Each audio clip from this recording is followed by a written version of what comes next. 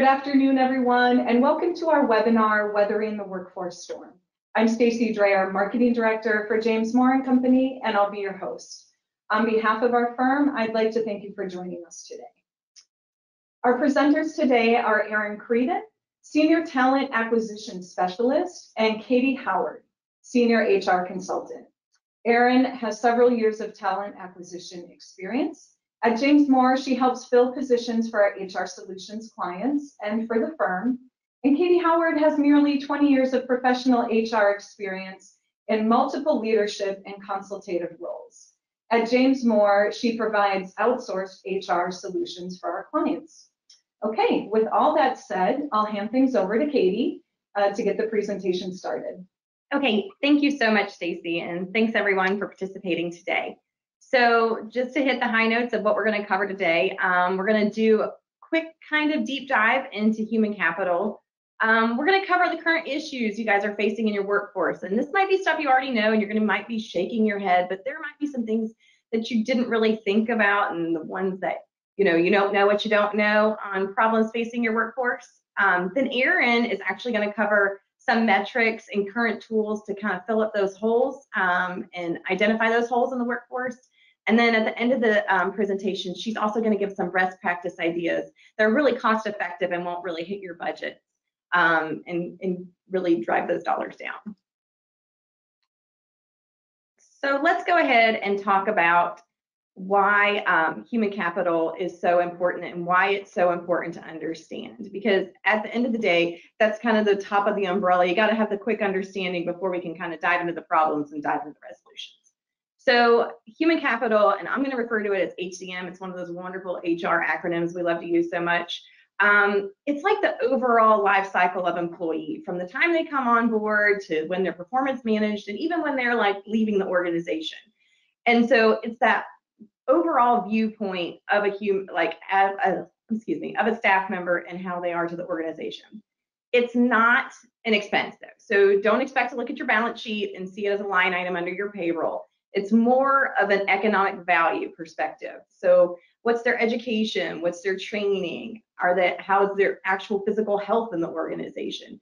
And how they stack up with their team members and then how ultimately everything works together. And that's the value of um, human capital. And the more you invest in human capital, the more productive your team will be, and it will obviously um, increase citizen interaction. So let's keep going with that and understanding. So you know your office is only good as your people, and they are the direct face to your public and how your public interacts with all your offices and departments. So investment in your HCM is going to be necessary. You got to invest in your recruiting and hiring, your training and development. Um, you got to look at how efficient they're being, their performance, how effective they're being to the team, how effective they're being to the public. And you've got to really learn how to retain your staff using a holistic HR approach. This is kind of a new mentality that not necessarily just governments haven't used. Um, overall HR it's more so at the end of the day, you look at the employee as a whole. We used to love to look at an employee and say, hey, employee, clock in, do your job, and go home. Well, this looks at employee outside of work. What gives them purpose? How do we carry on their purpose through their day-to-day life into our workplace so that in the, in correlation with their purpose, it becomes our purpose and everybody wants to work together for an overall purpose.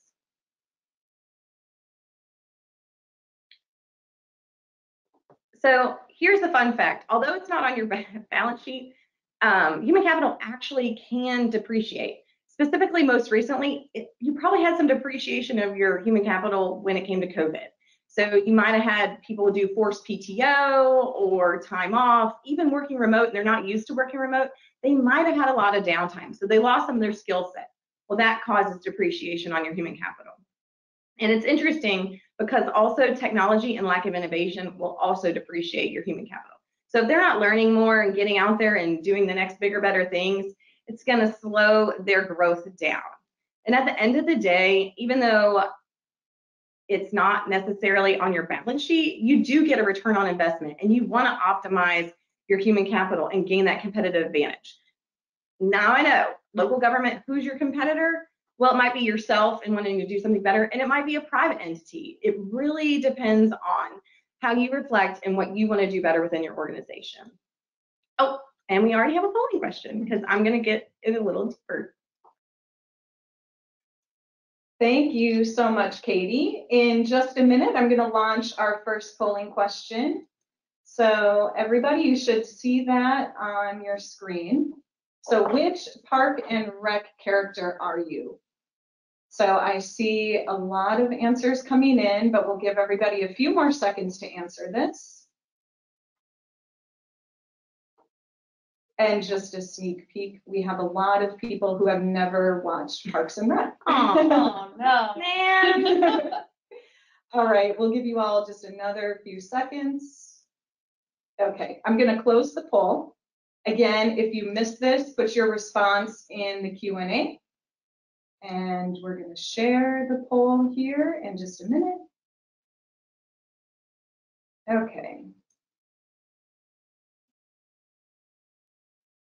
And I'm not sure if you all are seeing this. Okay. But we have 64% of you said none of the above, I've never watched it. Aw. 20% said Leslie Knope, no. Nope. Nope. Apparently Yeah. I don't watch Parks and And 8% said Ron Swanson. So I'm gonna close this poll and Katie, turn it back over to you. Thank you so much. So now we're gonna, you know, sticking with the weather, um, the weather theme in our presentation. What is causing these high pressure fronts? What are the problems of, you know, in the workforce world, specifically to local government? I know not everybody's in local government, but since it's the government series, we're really focusing on that. And really, it boils down to three. And I get to be, I, I, I joke with Erin because next she'll get to bring in all the fun stuff. I get to be the bad news bear. So it's all about the areas are that are most impacted are your recruiting practices, uh, your retention issues, and then boomers retirement, the mass retirements that are coming up in your organization and people leaving. But let's start with recruiting practices. So I don't know if I've already mentioned, I think it was in my bio, but I actually, when I say, I'll say we a lot in this presentation, just specifically because I worked in local government for five years. I was a senior director of HR. So all these problems I've ta- I'm talking about, I've actually been through. So I really sympathize with the struggles you guys go through with your workforce. And a big issue I had was competition with other employers for talent. Now, specifically, I'm from Camden County, and that's where I worked. And we had an issue because we were technically a rural county. We were about, I'd say, 45 minutes from metropolitan Jacksonville. And from that point, we had to compete with all the employers there, even the local government there. JFRD really liked to take um, our already groomed firemen and EMS staff because they had already been trained by us. Then ultimately, they could use their experience and put them right in their program. The employees loved it because they um, actually were already pre-trained and then they were also getting higher compensation and benefits. But as even a top five employer in Camden County, our staffing pool was really slim. We had competitions with the base, we had competitions with private employers. It was just a really, um, even nonprofits. And then right now, there's even kind of a third element with unemployment. Now, in the state of Florida, that's supposed to be, you know, and I don't want to make this a political conversation at all. Um, so please don't take that. But it is affecting, you know, especially lower cost jobs. Employees are seeing that it's more affordable maybe for them not to pay to daycare and they're making the same, if not more, to stay home. So lack of capacity is also an issue. For instance, in my case, again, I like to refer to my my past experiences. Um, I actually only had four employees. One was actually dedicated to benefits, um, specifically to recruiting. I only have one employee recruited, uh, dedicated to new hires and recruiting. I supported her, but for the most part, that was her job role. And so, a lot of the jobs, yes, we didn't have an, a huge amount of job postings, but for instance, if an office specialist came out um, and that was, I would say, a coveted job for Camden County. She would potentially get 100 to 150 applications. So for one individual to screen that much, it was really labor intensive.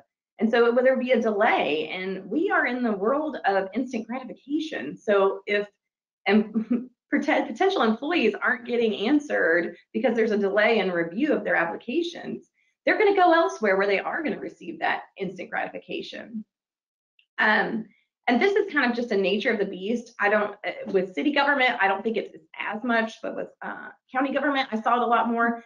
And when I say inconsistent processes and standardization, it's just because, you know, there was this overall administration umbrella under the county, but then we had constitutional offices that were allowed to do, you know, that had their own hiring processes, their own recruiting. They might want to use us to do their postings or process their paperwork.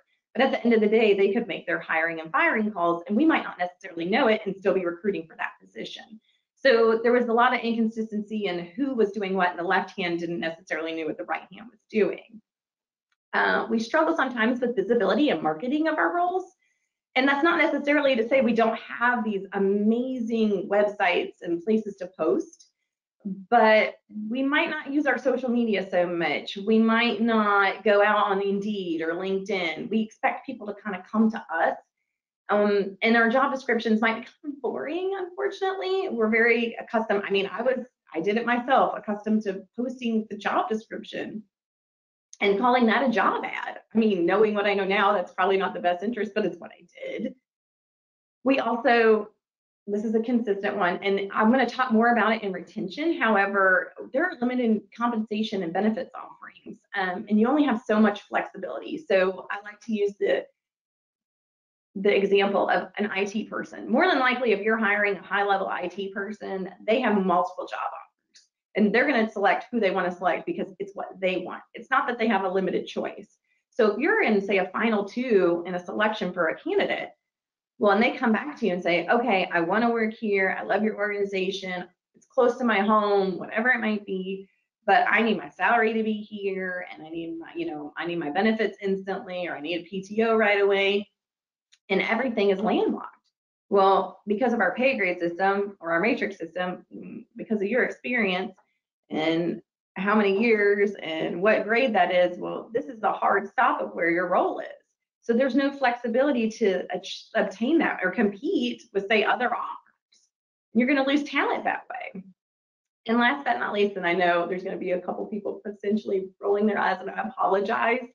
But when I talk about archaic technology and processes, I specifically think of Tyler Technologies. And I know government finance people love Tyler Technologies, but, and it's been a couple years, so I'm hoping it has improved when I was using it for our HR program, it was basically a payroll processing, maybe basic information holder.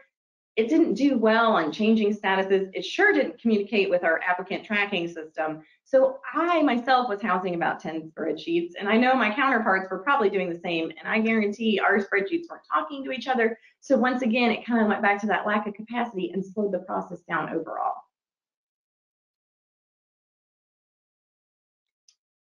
So let's talk more about now retention issues and I, I, specifically with compensation. I kind of touched on it with recruiting, like we're going to get struggle and marketing ourselves with potential applicants.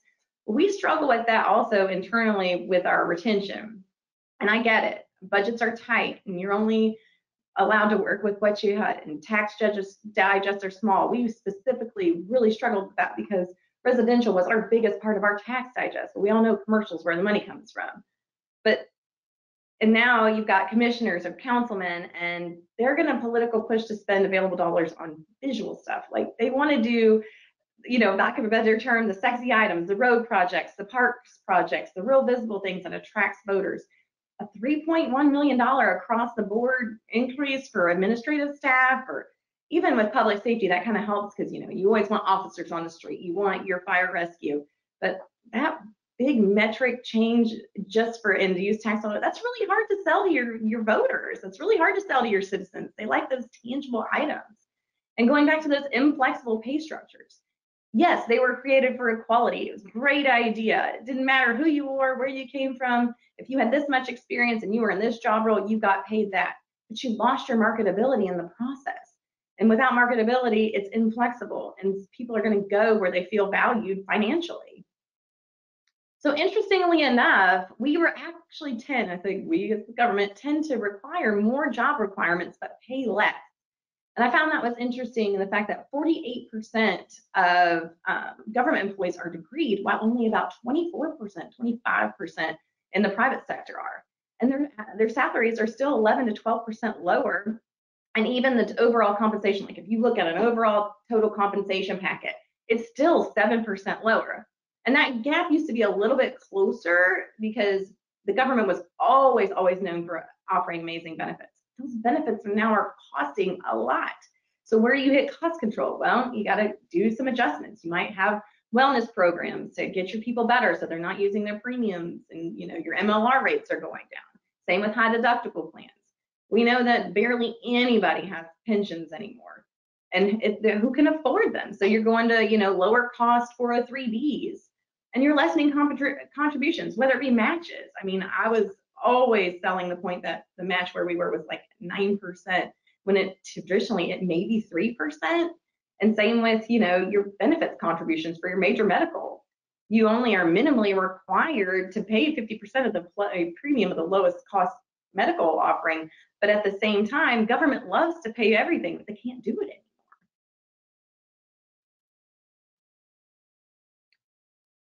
And then we struggle with engagement um, as well. And so first, let's talk about why engagement is important. It does everything from higher, increase productivity, lower, you know, keep people from leaving the organization. It even lowers absenteeism. If a gauge worker wants to be at work, or it's better to be when it's more fun at work than it is at home. Heck, yeah, I'm going to be at home. I mean, at work. So therefore, those all those positive experiences are then transferring on to the citizen and taxpayer engagement. So that's all going to increase if overall engagement's um, up. So, and they're two times more likely to stay in their job. They're two and a half more times uh, to feel rewarded that they're making a difference. There's that purpose talk. You want to always make a, an employee feel like they have purpose. And they're two and a half more times likely to recommend um, to their friends to work, which again, great candidate pool for struggling with a candidate pool. We want people to recommend where we work. But what lowers engagement? And a lot of times it's leadership issues. And we get in the habit of, say, Joe, he's been an analyst for, you know, 23 years, and now the director of finance is now open. Well, Joe might not ever want to be a manager, but we promote Joe anyway. And he's not really good at it. And then, of course, it affects the overall department and how they're viewing their interactions at the department you know, tenure doesn't necessarily mean leader. Also, leadership issues can be sometimes out of our control. You know, for four years, you might have a council or a commissioner, um, a commission that is really highly pro-employee, really engaged, and then something happens and they lose their voting, you know, their their seats, and new commissioners or councilmen come in and they're not pro-employee. So that can really change the temperature of the overall organization. Um, leadership also could be because of lack of career professional development. People kind of want to know their paths. They want to know there's opportunities for growth. And then finally, in, um, inadequate recognition programs. It doesn't mean you have to have these high cost rewards and pinnings and lunches. You can do a lot of affordable things um, and still recognize your staff. But I really want to talk about morale and the negative impacts um, in retention. And I know, especially recently, um, I've noticed this most in my time uh, with fire rescue. I know it's also going with the sheriff and police officers right now, but let me talk about fire rescue for just a second. These guys and ladies are short staffed. They're often, um, especially specifically with EMS and paramedics, they might be an aged worker. Um, not that I'm being discriminatory, but they're they're um, they tend to be a little bit older. They're strained on their resources, they're strained on their equipment, they're physically strained and exhausted. Mm-hmm. They're exposed to the elements. And then with the new COVID issues, you know, they have to wear a lot of extra PPE and all these, you know, we're in Florida, the temperatures impact, it causes frustrated, exhausted, easily injured workers. And then there was also this undertone of leadership mistrust. And I don't know if that's specific to all fire rescue um, departments. However, with ours, I think the rural aspect had to play. They were just really fragmented. This district was way over here. This district was another 30 miles away. So I think communication broke down. And when you have an authoritative management approach where it's like top down, I'm the chief, I'm the captain, I'm the lieutenant, it's our way, you know, the highway, and they don't feel like they can ask questions. Um, I think they fill in the blanks a lot of time, and that caused a lot of problems with our team um, for fire rescue. And then God bless the police. Unfortunately, um, you know, and again, not trying to make this a political speech, not trying to go there by any means, but with public opinion and media scrutiny the way it is, it's a very hard to be an officer of the law right now and you know and not feel that tension. Um, a lot of times they're undertrained. They're short staffed too. They're not getting any time off. There's openings. Um, because they're bringing new people in they're really undertrained. And then you've got to bring people in for leadership that haven't been in leadership roles. Just over this past year i think what was it? 50 of the 50 major cities 23 chiefs either retired or resigned. They just had enough. I know I'm really starting to feel like the bad news bear, you guys. I'm sorry. so we're also going to talk about with retention undefined culture. Um, a lot of times, again, with spread out counties, each entity has its own culture. So there's a cohesion problem. Uh, the top-down mentality, what the board says goes, and it goes, you know, don't question. No, there's a challenge for change. No, I, I have to admit, I struggled with this during my tenure. It was, well, we've always done it this way. We've done it this way. We've always done it this way. Don't ask why we do it. That's just why we do it. Doesn't mean it's the best way, but again, that's the mentality. And then back to that broken communication, unsolicited viewpoints. That can even go back to our citizens. They sure like to give their opinions. And sometimes, you know, a constant negative opinion from a same very verbal group can give you a really negative vibe to your culture. So now the third um, item I want to talk about is what we call, and I didn't know this term prior, was the silver tsunami. So these mass amount of um, retirees that can be moving out of your organization. So I want to kind of give you a polarizing statistic. And I could talk about, you know, oh, 10,000 people turn 65 a day. I could talk about, you know, more people are over, you know, over 60 than five and under.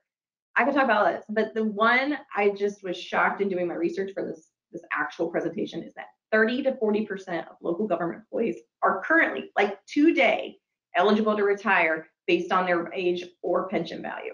So again, I had a 500 employee organization. 150 of my people, as of today, could walk out and retire if I'm struggling for vacancies already, I can't even imagine. Let's say even said I had like, you know, 15, just let's add, you know, more than 100 onto that. It, it, would just, I would probably have a small stroke. I'm not even gonna lie. Probably not the best, worst to thing to say, but it's the truth. I can't even imagine being an HR director and dealing with that kind of volume of employees leaving. Because again, issues associated with that kind of volume. You have instant institutional knowledge drain. Who knows how to do the job? You're missing big chunks of each department. So your services are going to completely just completely go and your your staff and aren't just going to notice it your citizens are going to notice it um, there's going to be an abundance of vacancies like i said if you're having difficulty filling your current vacancies add another 100 to 200 onto that. That's almost completely unable to overcome. I don't even know how you overcome that obstacle. So hypothetically, let's say you take some initiatives and you find a way to retain these retirees to keep them on so that maybe you can kind of slowly move them out of the organization. Well, your costs are still going to impact. Your cost of your healthcare is going to go up because, again, not being discriminatory. However, aged workers use your healthcare more. So the premiums are going to go up and you have to redisperse that on your other staff to maintain affordability. Your workers' comps are going to go up. There's going to be more injuries as well. So all those costs are also going to, it's almost like you can't escape the end game, unfortunately. At some point, it's just going to cost you an intense amount on your budgets with these retirees. So now, um, I've, I've dumped all the bad news. So Erin's going to come in and she's going to give you some great tools after we do another poll. Thank you, Katie, so much for all that information. We really appreciate it. So in just a minute, I'm going to launch our second polling question. You should see that pop up on your screen. So what office or department of government do you represent? So we'll give everybody a few seconds to answer this.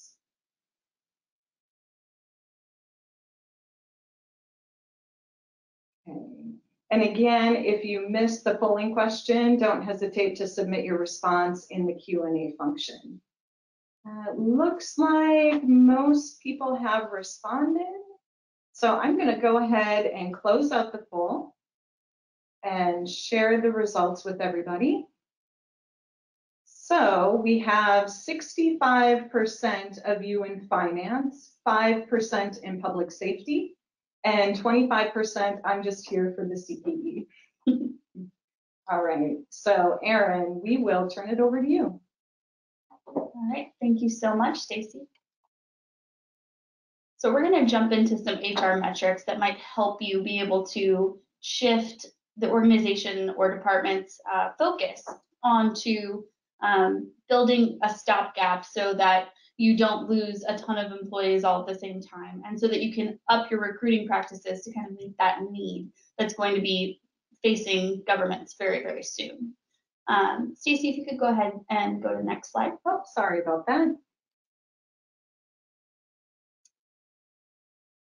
Thank you so much. So just to start, why look at these metrics? Um, so first of all, you're going to want to get buy-in from your team. So with recruiting intention and retention being team efforts, you'll really need a team behind you. Um, you'll you'll be able to use financial metrics to put into words the way low staffing will impact um, not just not just your day-to-day lives, but also the taxpayers' opinions of the leadership that you're providing in your office. Um, so by using these features, um, you can look at how reducing turnover can then turn into additional taxpayer dollars that you can use and reappropriate to other retention and recruiting efforts um, or other efforts as well. All right, so we'll start with retention and turnover rates. Fairly common, I'm sure none of none of these terms are going to be new to anyone, but um, again, we're just looking at them all in one place so that we have a good a, we have a good solid foundation for you to build a good argument. So as far as retention rate, um, so you're going to start with the number of, of, department employees in the beginning of a period over the total number of department employees at the end of a period. Um, and then you're the opposite of that. So retention is, you know, who you've held on to. The opposite of that's going to be your turnover rate. So how many how many employees did you lose? So there's how you compute, compute that metric right there. So if the average turnover currently for local government is roughly 8 to 10%, let's just say, um, and your average cost per hire in your department or office is, let's say, 15,000. If you're able to shift your efforts to reduce your turnover by just 2%, um, you could potentially save $150,000. And what could you do with $150,000? So that's why this metric is so important. So um, let's also look at determining cost per hire. Um, so kind of looking at a pretty extreme example here um, with the cost per hire for a police officer, um, but um, it does really illustrate um, how important this is. So the time that it can take to hire a police officer and get them fully trained so that they are functioning independently on their own can take up to 18 months, which is absolutely um, shock shocking number. Um, but the so the total cost of bringing on a new employee to the company is going to be your cost per hire. Um, so if you want to dive into this table that's on here, so let's estimate your recruitment costs between recruitment fairs, between any kind of ads that you've placed, um, any recruiting efforts, and the salary of those that attended those recruiting events. Let's just ballpark it at about $3,000. Um, now, these figures are coming straight out of um, a true life example in Boulder, Colorado. Um, so let's say the annual salary of a police officer is $60,000 um, and the total time for initial training is 22 weeks. Um, so your cost per hire is going to factor in not just those recruitment costs, but also the salary during that training period. Because during that training period, they're not functioning independently. They're not out on the streets patrolling anything. Um, so that is going to be another 25,000 give or take. There's also the cost of their benefits while they're in training because yes, they are an employee. So um, the Bureau of Labor Labor Statistics has determined that the average cost of benefits for employee compensation is 38.1% of the employee's annual pay.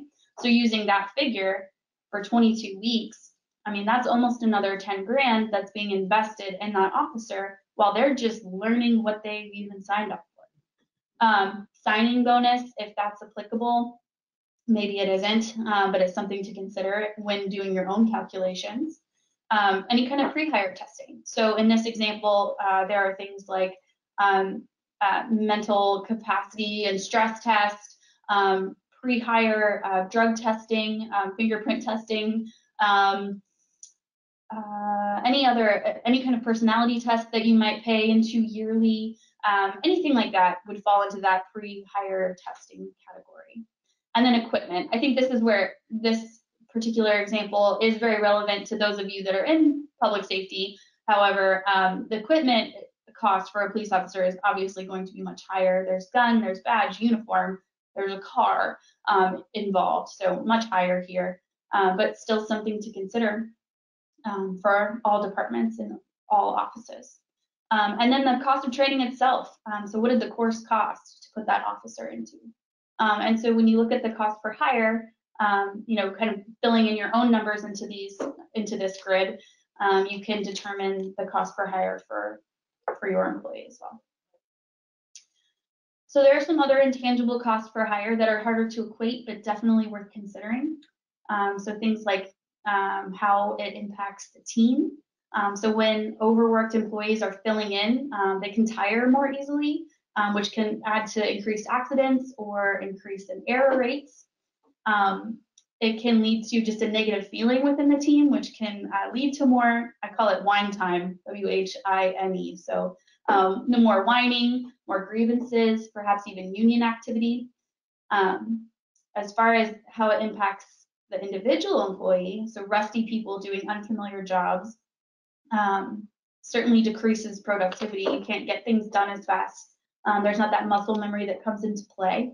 Um, and it can certainly cause frustration and then uh, cause more people to quit as well, um, which means it's just a it's just a ball kind of rolling downhill. Um, snowball, that's that's the term. and then uh, cost of management, time and effort. So when people are making mistakes, when people are making errors, um, there's going to be more um, management attention needed to catch those mistakes, um, to um, fix any kind of errors. And often managers are filling in themselves. Um, so they'll skip their normal management planning and time can't be spent on developing the best employees. Um, and so that can lead to their frustration, which again plays into that snowball. Um, customer impacts, so or constituent impacts, uh, taxpayer impacts. Um, it can make your taxpayers, if they don't feel like they're getting the service that they that they feel they deserve, um, they could feel like the organization doesn't care about them. Um, so, oh, uh, quick, sorry, Stacy, quickly go back to that slide. Um, you'll see on the slide, um, we just kind of laid out details of how that might impact you specifically in the financial accounting department. Um, and so hopefully some of those kind of hit home for you. All right, Stacy, next slide. Okay, so this chart I just thought was a really great visual um, to display how when you first hire a, an employee, so cost of value of, of that employee, um, it can take some time to even break even and all the costs that you're going to be spending to bring this person on. Um, and so kind of keeping that in mind as you're as you think about training time as an investment. Um, so there's the new hire phase, the onboarding phase, and training phase, and at all that point, maybe you're starting to get a little bit of work out of them, but they're but really they're not. So um, they're not performing the way a more tenured employee would. Um, and so it's going to be different for everyone. But going back to that um, police officer example, um, it's going to take about 18 months to get that employee up to that red line where they really start to add value to the organization above what's being what's been invested in them. So if you uh, did want to, sorry, back on the last slide, um, there's also a case study right out of uh, Fort Collins, Colorado, um, of um, of an example of a government uh, that has um, put a lot of retention practice of these retention practices that we're going to talk about. Um, so we'll add that into the chat and include that in some of the materials that we're going to be sending out after the webinar. All right, so let's get your organization, department, office, uh, what have you, uh, prepared for this silver tsunami that's that's coming. So batten down the hatches um, and really make a case um, for your team to shift to recruiting and retention. Um, so you're armed with you're armed with all these facts and figures. So you're armed with your turnover rate, your retention rate, uh, the average cost per hire, um, using all those metrics. So you have all that information. Um, next would be to identify vacancies um, and any potential upcoming vacancies by reviewing your organizational chart. Um, so take a look uh, at anyone that you know you know has expressed interest in maybe moving out of the area or um, in retiring in the next few years. Um, anyone that's of age of age to retire, I would make a note of that if you know maybe they're 20 years in and um, they're of eligible retirement age. Um, so identify those holes, and then you're going to want to come up with a system to prioritize those needs.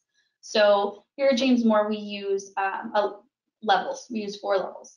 Um, our level one is all hands on deck. We have to uh, fill this position or we're not going to be able to continue to function as normal. So it is one of those critical positions that needs to be filled right away. Um, level two is going to be this, this position is going to add value. It's going to um, make us more productive and it's a very important, per, uh, important position to add to the organization. Level three is our normal as budgeted uh, recruiting practices where we're there are some positions that we're just always looking for. Um, and you probably have some of those job requisitions that you just really never close. Um, and you hope to make a certain amount of those hires per year. So I would call that a level three, just one of those very consistent um, uh, requisitions. And then level four, which is a very nice to have. Let's always keep our eyes peeled for this person who could add value to our organization. So come up with a system that works for you um, and then start by prioritizing because you can't tackle it all at once. You're going to have to start with one, two, and three and work your way from there.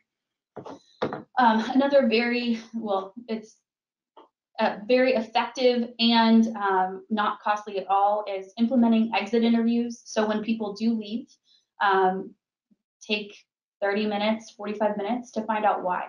Um, what could have been done differently? Um, people are going to be more honest to, with you on their very last day of work than they maybe they have been the entire time. Um, maybe some of that has to be taken with a grain of salt, um, but maybe not, and maybe that honesty is going to provide you with a lot of clarity. Um, but start implementing exit interviews for anyone that is leaving your organization. And then on the flip side of that, also implement some stay interviews in your HR practices. So stay interviews are critically important for new employees. Uh, so you're going to want to touch base with employees at 30 days, 60 days, 90 days, six months, uh, and then pro they'll probably fall into uh, the normal, normal performance reviews that you will do. So six months and then a year. Um, but you're most likely to have turnover within uh, the first year that employee works for you. So it's super important to stay really on the pulse of how they're feeling about their job, how they feel that they're fitting into the culture, um, and how they feel like they're being a positive or having a positive effect, positive effect on the organization. So another um, another way to prepare for the future is going to be to interview your top performers. So being proactive about the creation of how-to documentation. Um, there's a lot uh, that you'll probably notice now um, that you do in your job every day that you, you don't even think about how you would train someone on it because you've just been doing it for so long.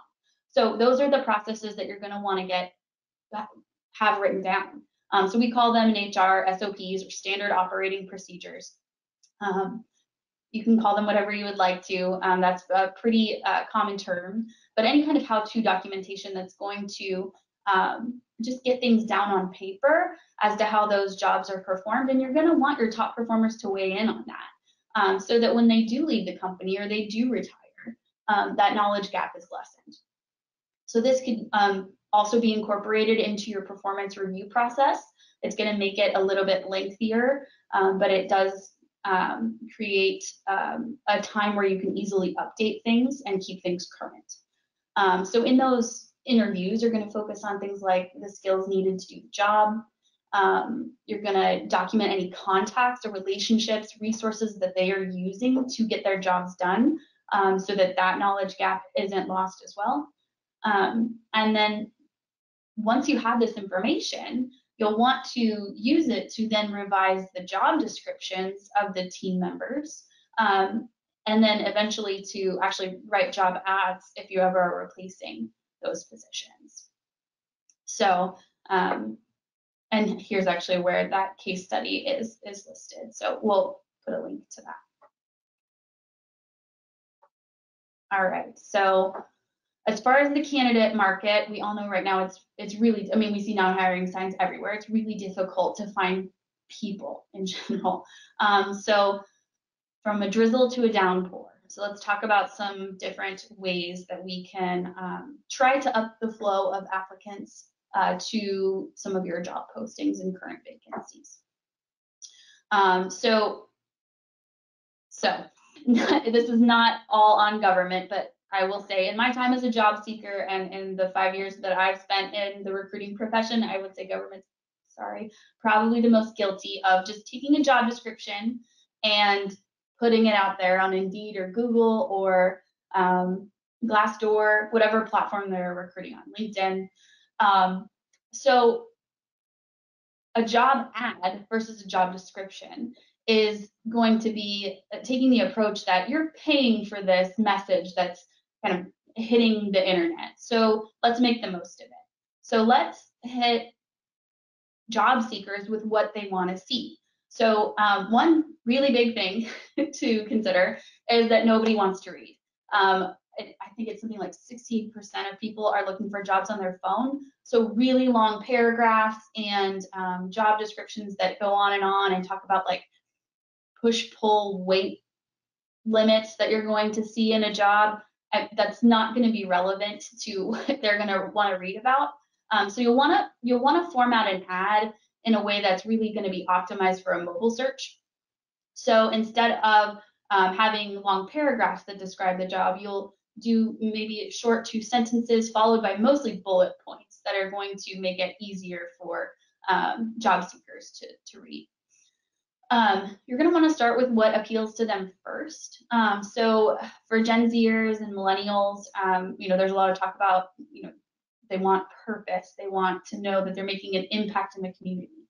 So are you, if you're advertising for something like an administrative assistant in the tax collector's office, I mean, yes, it's it, that's what the job is. Or let's say admin, admin three or something. Um, let's sell that to a candidate. So talk about how that office provides for future infrastructure, um, parks, services, roads that will serve the people of your community, um, and highlight that to the job seeker um, above knowledge of PowerPoint and knowledge of Word. Hopefully that makes sense. So job responsibilities are going to be important because um, you want them to know what kind of job they're applying for and keep it really simple. Um, so just make sure that they get an understanding of what's going to go on day to day and what they'll be responsible for. But things like other duties as assigned, say that for the job description. That will come into play, but that's not going to sell that, or that's not going to tell them, you know, what they're signing up for or what they're applying for. And then last, highlight skills that you really need brought to the table here. So try to exclude years of experience when it's not necessary. Is did the person that left the role have 20 years of experience? Yes. Is that is that necessary in the next person that you hire?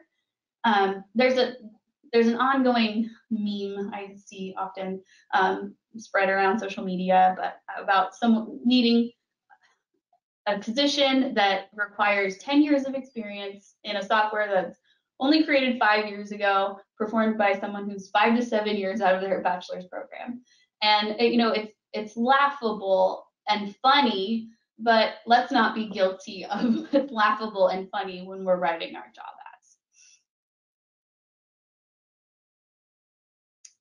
All right, so appealing to, uh, Stacey, if you could do next slide. Oh, sorry about that. Thank you. All right, so we're gonna focus on millennials and Gen Z because um, that is, I mean, millennials make up a huge chunk of the workforce, and um, Gen Z is what's coming out and graduating college at this point. Um, and so that's who we need to start focusing our recruiting efforts on. Um, so again, making a positive impact is super important to these generations. Um, so just keep in mind that um, these are, you know, emphasize the, the point that these are your tax dollars at work making an impact in your community. Um, discuss, you know, why this job is important to the community and the difference that it's making, the why behind the what is very important to those generations. Um, diversity and inclusivity is going to be really important to Gen Z workers. Um, they really want to work for a company that has a variety of different voices and opinions brought to the table when making decisions. Um, we know that that's um, been a really hot topic uh, in recruiting as of late, and I it will not be going anywhere. Um, so be sure that your your efforts um, in diversity and inclusion are highlighted and communicated to uh, those that are to job seekers. Um, as far as flexibility, so um, we just are slowly uh, getting out of a very flexible time where um, Gen Zers especially uh, spent the last year doing um, school from home, school on their computer. Um, millennials uh, were working from home, or we are all working from home, right? Um, so there's a level of flexibility that has almost become an expectation. Um, so things like flexible schedules or job sharing programs, um, you know, they might seem, they might not be the way we've always done it, right? But at the same time, they could offer flexibility that will help you both in recruiting and then maybe even to better serve your constituents. If you had somebody that was on a job share program, perhaps you could, they would have a, a different schedule. So that would allow you to open up 30 minutes earlier in the morning, stay open 30 minutes later in the evening, make it easier for your your constituents to be able to um, to come into the office. And um, so just a different way to look at it and kind of an out of the box thing to apply. Um, as far as um, wellness programs, um, so Katie already touched on, on that, um, but mental health is particularly important to these generations, especially in the wake of COVID. so anything that you are doing to promote wellness within your your organizations or offices is going to be super important to highlight and to, to speak about. Um, and then 401k programs, um, very important to uh, still to millennials and Gen Zers. Um,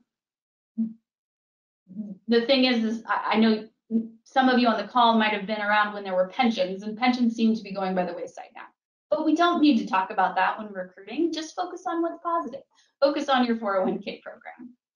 Um, and then think about utilizing social media. So um, just thinking about your brand. Um, so instead of posting things to Facebook or Twitter or Instagram um, that are just a job ad or just a, we're hiring for this, um, incorporate some fun things that you do in your day to day. So um, you know, did you celebrate Rick's birthday last week? Um, did you go on a team outing to a baseball game? Um, those are things that are going to get the message out and help you be mindful in um, Gen Zers and millennials' eyes. So just remember, they're always scrolling. So if you can just be top of mind and be in that newsfeed, that's going to help you uh, stand out when it's time to uh, when it's time for them to look for a job.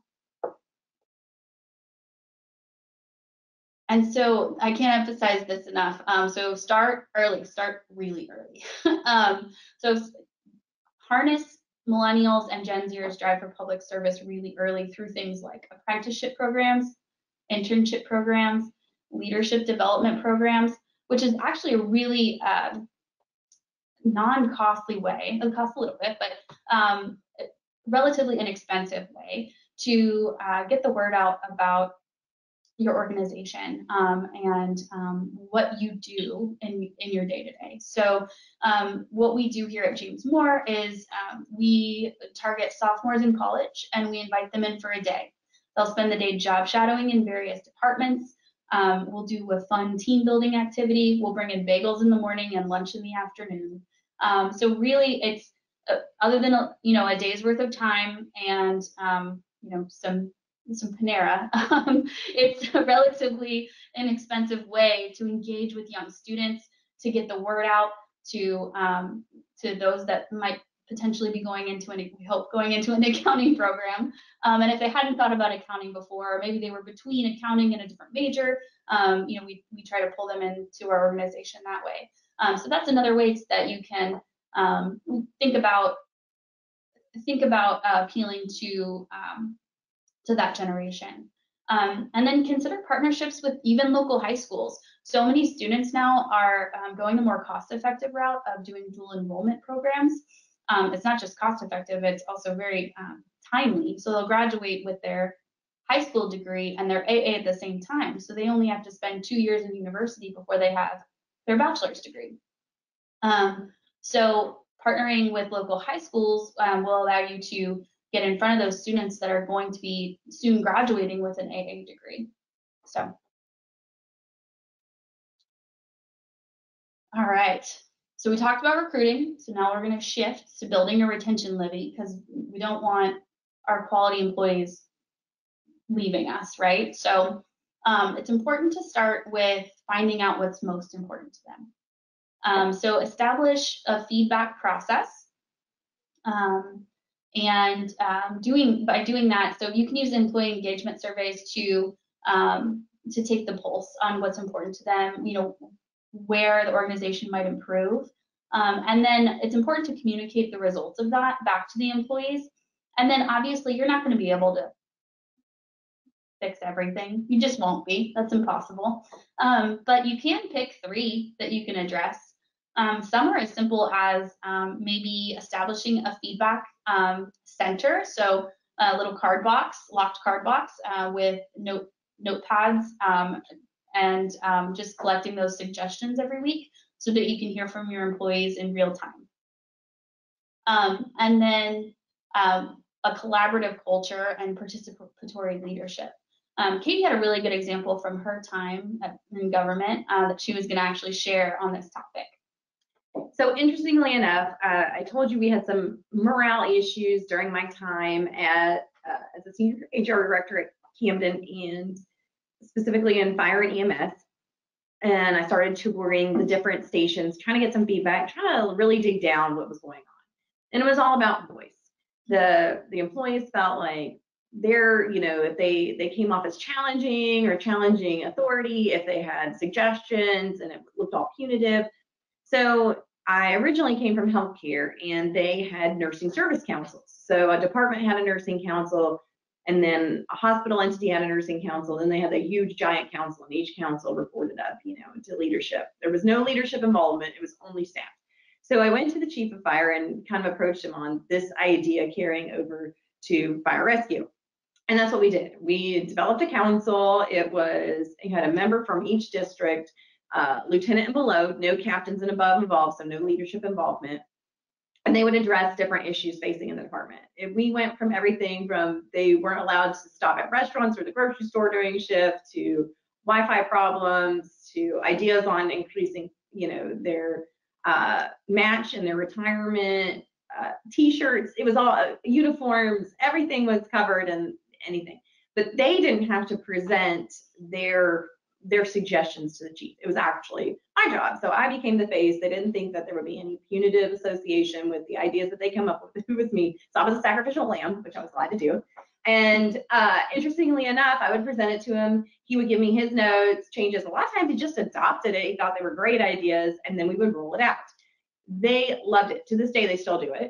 Uh, it was great. It took a while for them to really believe in the process, but as they saw change as a result, they really got buy-in and they felt like they were making a difference. So that's a really good idea. It's really easy. It didn't cost us anything. We made bylaws, the whole nine. They voted in who they wanted in. It, it was really great process. So, and I, I did see a lot of great change from that. Actually. So that's the thing. Thanks, Kate. All right, so some other um, some other things to think about. So um, wellness and life balance programs. We talked about wellness, um, but then life balance. So this can be of absolutely no cost to the organization. Um, so a life balance example would be to uh, partner with a local dry cleaning company um, and have them come do a pickup once a week for your employees. Um, so your employees don't have to spend the time either before work or after work dropping off and picking up their, their dry cleaning. Um, the cost is passed straight to the employee, um, and it really takes not a lot of time to set up, but it's a value add for your employees. Maybe bringing someone in once a month to wash cars, um, another value add for your employees, something they don't have to do on the weekend. And it's up to them if they want to participate in it, but if it's going to save me time, I'm always going to probably participate in it. Um, and then fun and community involvement. So um, try to make community days and any day that you get out in the, in the community as fun as possible. Um, things like open communication and open door policies, um, super important and do uh, lend a hand to uh, better retention levels. Um, and then um, one actual idea for those of you that might still be operating virtually actually with um, with open door policies um, is to schedule two hours a day where you kind of leave your calendar open for employees to come to you with anything they any questions that they have to ask. Um, it, it, works like time blocking, so you can actually be more efficient in your day to day. But because employees will save their questions to that two-hour time block, but it also makes makes you seem very approachable as a leader to um, have that block of time on your calendar where you are you know, open office hours, if you will. Um, and so just making that known in a virtual setting, I know has been really powerful for some of our clients as well. Um, recognition plans, so that doesn't have to cost a fortune. Um, it doesn't have to um, be much more than um, an email or a, um, a recognition at a, a staff meeting for a job well done something public, something um, where other people can see it, um, that does uh, that does play into that's part of a recognition program. So think about things that you can do to um, be more vocal about uh, anything that someone is or someone in your organization is achieving. Um, and then flexibility we already talked about, but I did want to talk a little bit about mentorship programs. So this is big, um, not only for retaining employees, because mentors feel like they're giving back to other employees and that makes them feel very valued and needed. Um, new employees like being paired up with a mentor because they feel like they have someone to go to to ask questions. Um, but it's also really helpful with succession planning. So um, just and part of being a learning organization. So you're investing in that human capital by literally having them invest in each other. So it doesn't cost anything except time and it doesn't take away from any leaders' time either, um, because you're, you're really just pairing top tenured employees with newer employees along the way. All right, and with that, um, we'll kind of jump into our last polling question. Thank you, Erin. So I am going to launch our third and final polling question. And you should see that on your screen in just a moment. So I am most interested in learning more about recruiting Gen Zers, retaining current employees, succession planning, or other HR services. So we'll give everybody a few more minutes to respond to the polling question. I did notice a few of you submit your answers through the Q&A function previously, so I do want to let you know that we did get those responses.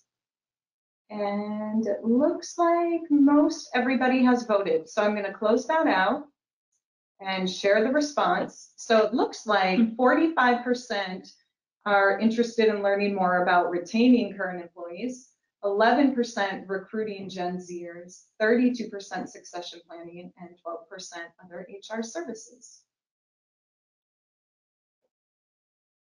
Wonderful. All right, so Erin, back to you. Actually, Katie's going to close us close us out here. So just to wrap stuff up, um, I hope we covered, you know, the problems you guys are facing. I hope you learned a little bit about human capital management and how it really reflects your bottom line. I hope you've got some tools um, sorry. I hope you got some tools that, you know, whether it be metrics, uh, just different examples that you can kind of reflect upon and apply to your organizations. And then, of course, we hope you get some takeaways as well on ideas of cost-effective ways to retain and recruit your employees. Okay. All right. Thank you so much, Katie and Erin, for your time today. Um, our next webinar event is going to be held on June 9th, and it's GASB 84 and 87 Deep Dive. So if you haven't already registered, we encourage you to do so. And here's the URL um, to register. And we do have some time for questions. And we had a few that came in. Give me just a minute to pull them up. So Erin and Katie, are you seeing clients having difficulty filling open positions? Yes. Yes. Erin's done more recruiting, but I have to hear it as well. So I'm going to let her take that one. Um, yes, um, clients, right now the labor market is extremely tight, um, and it's, it's been very hard to find, um, even, even jobs above the seventeen dollar an hour threshold that they're kind of, um, saying is, oh, below that, you can't hire anyone. Actually, even above that, I mean, it's been that way for years. Um, but the, the market seems to be changing, particularly, um, here in Florida. Um, with remote work becoming so common over the last year, um, other states have actually targeted people that live in Florida um, because we don't have state income tax. So they're able to hire people on a remote basis to work for their California, New York, any other state company um, and pay them less because we don't have state income tax. So um, it's been uh, the challenges and the competition for talent um, have actually been harder than ever. Do you think there are certain departments that are, positions are more challenged to fill? Or that you've seen, you know, which departments struggle the most with Well, if you're right now? um, if you're talking, you know, local government wise, uh, public safety has always struggled, uh, specifically 911. I didn't even touch on that. 911 operators, that is, that was a struggle seven years ago. That was a struggle 10 years ago. It's a very difficult field to attract and, and, and turnover and is really high as well. There's a constant revolving door. Mhm. So we had a couple questions come in regarding exit and stay interviews. Do you think exit interviews are really effective? Um, they can be. I actually like the idea of stay interviews more because I'd be like rather personally capturing that information while people are still there to make my adjustments and potentially retain them versus, oh, I found out after the fact. Because typically, you know, you're not going to exit interview somebody who's going like a- an involuntary term. That's a, that's typically good turnover. So the people mm-hmm. you are actually exit interviewing are the people you would wish have stayed. So I'd rather do a stay interview versus an actual exit interview. Sure. And do you recommend reposting constantly open jobs or just leaving them up all the time? So you will actually lose your free organic traffic on any job sites that pull free ads from your ATS system if you post more often than every two weeks. So you can post at, um, at the every two week mark or a two week in one day. Um, but if you post, repost any more often than that, then you will, your, your job will get pulled from the site and perhaps even the company pulled from the site for a 30 day, 60 day. It depends on how many times you violate the policy. Um, there was a question about obtaining a copy of the webinar um, so that you can share it with your team. And yes, we will be sharing the recording of all of our webinars. We'll be posting them on our website. And we'll send an email near the end of the se- or the series with a link to all of the recordings. So those will be available. And if you want to download the copy of the presentation again, you can do so now in the handout section of the webinar. Um, has the shortage in the labor, has the shortage in the labor market forcing employers to raise starting wages? Well, some of that is also with the upcoming shift in minimum wage. There's been a little bit of a trend of hiking wages to reflect that. But again, in private sector, they have a little more flexibility to raise, raise wages in the middle of a budget, whereas Local government, not so much. You're kind of more, you know, really handcuffed to your budget. So the flexibility is really not there. So it's a little bit more difficult, but yes, there is a trend that they're trying to adjust and make those adjustments. And then we had another question come in. Where's the best place to post jobs? Newspaper ads seem to be expensive and ineffective. So my recommendation um, is going to be to play to your audience. Um, so, um, you know, recently working with a client who needed to find a writer. Um, so we posted um, on a journalist website. Um, if you're trying to look for someone, um, an administrative role, let's just say, just because it's the most common, or an accounting role as well, um, Glassdoor is a really good place to post. Indeed is going to be the most common place to post.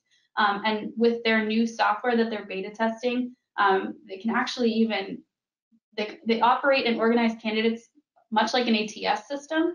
Um, and so once that rolls out completely, if you don't have an ATS system, it's a really really helpful tool to um, organize the candidate process. Um, they'll even if you haven't sent a rejection letter to a candidate that you can even set up an automation feature to auto reject and send an email to a candidate. Um, they're really working on some robust features, um, including integrating uh, interview schedules. I don't work for Indeed. I'm totally on a soapbox, but um, they they are certainly at the forefront of um, of job postings. LinkedIn is huge too, especially if you're high performers and that, say it's a department that they work for, getting them to share to their cohorts that they're connected to on LinkedIn, that is huge. That, that really is a great candidate pool. Mm-hmm. Well, we have a few minutes left. If anybody else has any questions, feel free to submit them now and we'll get to them. Um, for those of you who are interested in reaching out to Katie and Erin, please don't hesitate to reach out to them directly with any questions you have regarding the HR process within your department. And ladies, it looks like there are no further questions. So I want to thank you all for joining us today. I hope you have the great rest of your day and please stay safe and healthy. Take care.